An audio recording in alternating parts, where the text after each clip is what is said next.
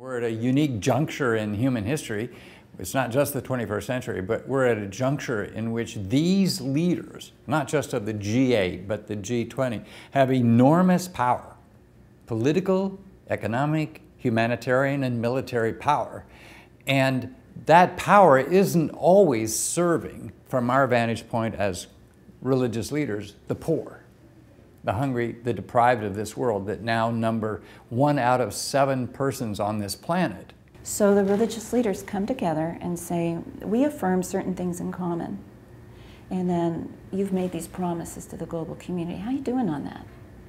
In addition, because we believe in the dignity of human beings and we believe in the importance of religious freedom and these other things, these are additional concerns that we want you to consider that are moral issues. Every year we change the, our concern, that the global society's concerns changed, but some, some of them we should not forget even the society is changed. So like uh, religious freedom, or human rights. There is something spiritual, there's something um, transcendental about the way humans live their lives that, um, that religion captures. And I think that to ignore that contribution would be to miss the, the, both some of the important drivers of politics, but also the, the implications of our, of our economies and our policy decisions.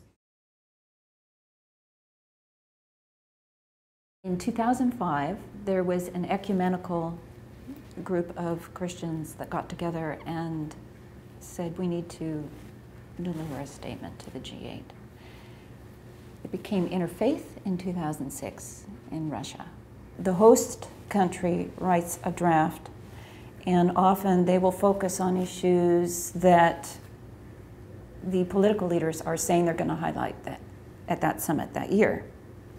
Then feedback is given. Um, are there, the question is raised, are there things that we want to, as interfaith leaders, add that are our unique concerns in addition to what they're focusing on? And are there things in terms of the issues that they are focusing on that we want to comment on? And out of the interaction, then comes the statement that gets delivered to media and to the political leaders.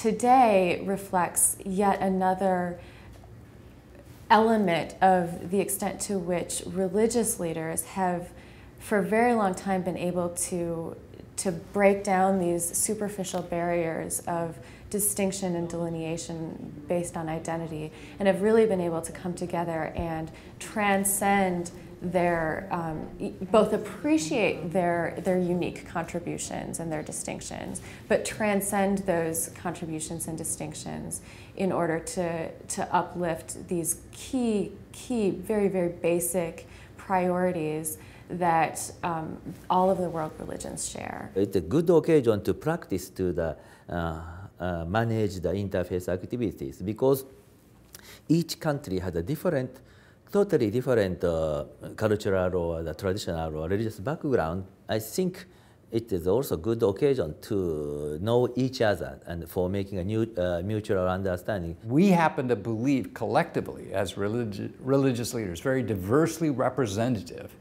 from Christian all the way to uh, uh Hinduism, Buddhism, and and a broad spectrum of religious faith leaders present here today. We happen to believe that we have to challenge those political leaders to have the moral and the political will to address the needs of that one billion people on our planet.